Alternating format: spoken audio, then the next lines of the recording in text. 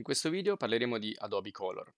Adobe Color è un'app che possiamo utilizzare direttamente sul nostro browser web, quindi non dobbiamo scaricare e installare nulla, che ha all'interno delle interessanti funzioni per quanto riguarda il colore.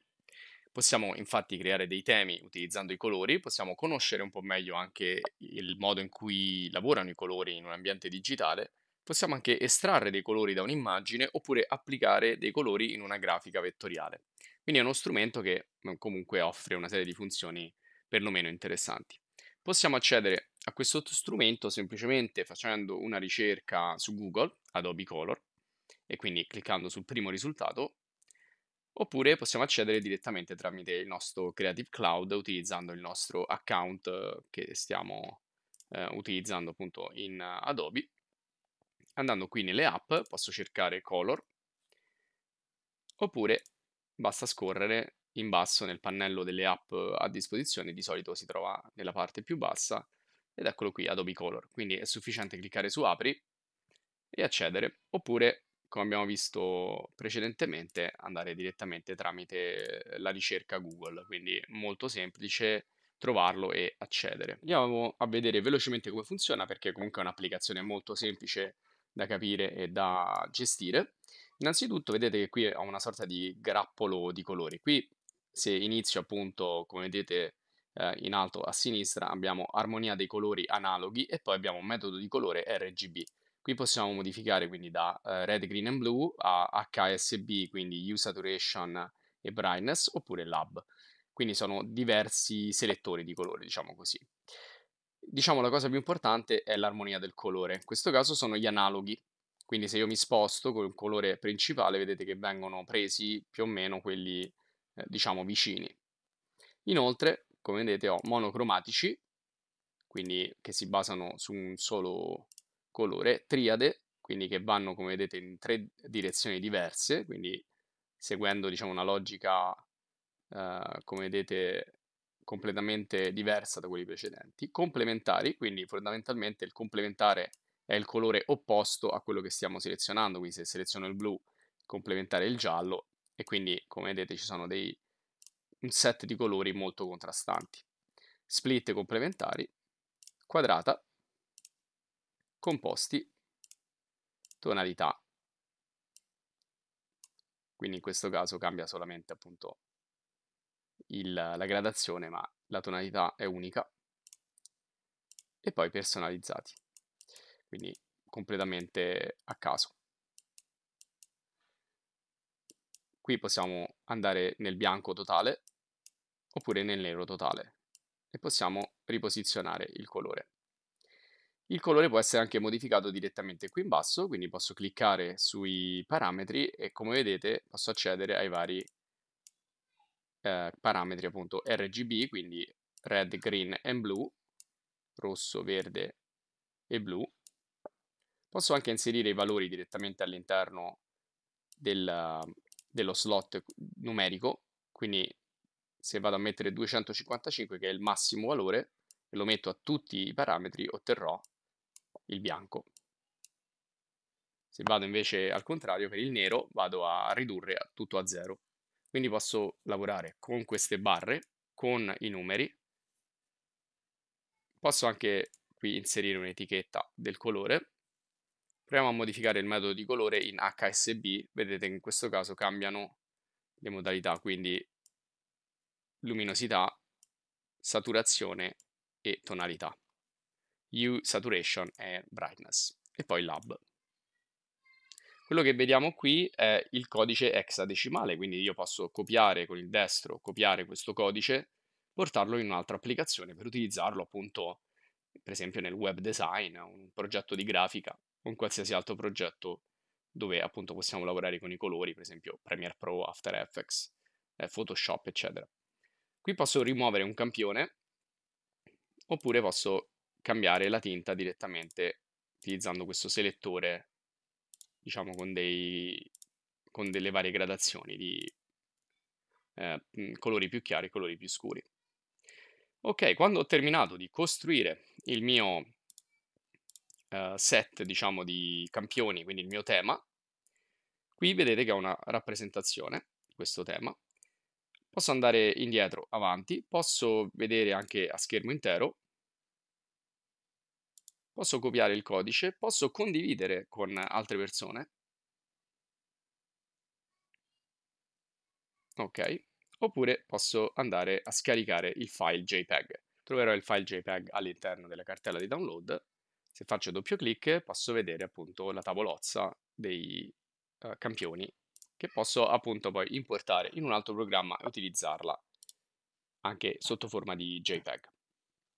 Quindi questo che abbiamo visto appunto è il selettore, posso anche salvare un tema e chiamarlo per esempio eh, JBD Pink, ok, e um, a questo punto posso salvarlo e lo troverò all'interno delle mie librerie. Posso salvarlo in una libreria diciamo generica oppure in alcune librerie che ho già creato utilizzando altri programmi come per esempio After Effects piuttosto che Photoshop eccetera eccetera.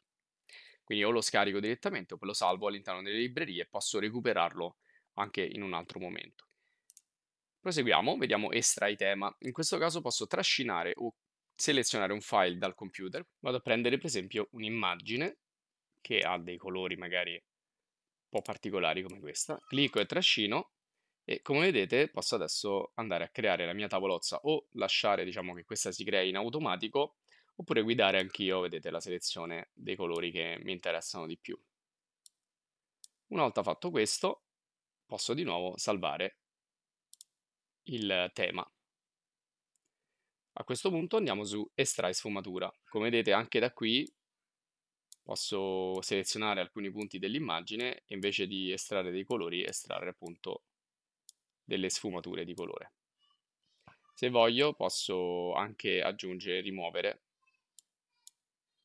e uh, aumentando le interruzioni della sfumatura inserire più informazioni riguardo appunto la creazione di questa. Andiamo avanti, strumenti di accessibilità, da qui possiamo controllare se i nostri colori, per esempio di un testo con uno sfondo, siano accessibili, quindi siano visibili, ben visibili a chiunque. Come vedete se io modifico e non crea un elevato contrasto, vedete che mi darà il divieto, cioè vuol dire che non è una combinazione di colori che è accessibile. Quindi posso modificare lo sfondo utilizzando un colore e la parte in primo piano e qui mi fa vedere appunto se è corretto oppure no. Vedete in questo caso mi dice che per dei testi troppo piccoli eh, qui non abbiamo un uh, sufficiente contrasto.